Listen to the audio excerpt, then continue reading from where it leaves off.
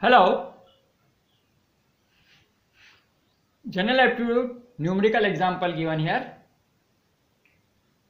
Two samples of milk contain milk and water in the ratio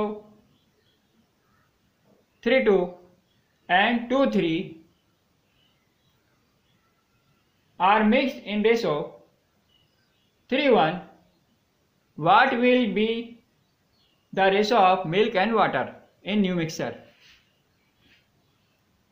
Solution First sample 1 liter contain 3 upon 5 milk plus 2 upon 5 water. So 3 liter of first sample contain 9 upon 5 milk plus 6 upon 5 water.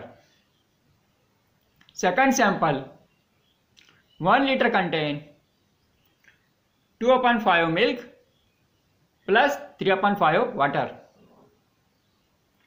so new mixture contain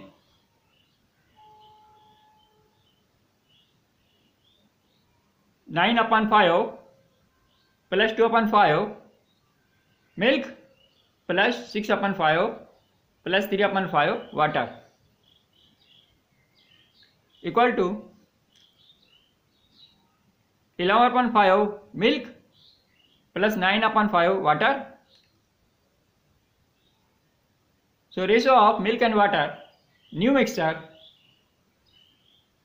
after mixing sample 1 and sample 2 in the ratio 3:1 equal to milk ratio water equal to 11/9. Okay, thank you.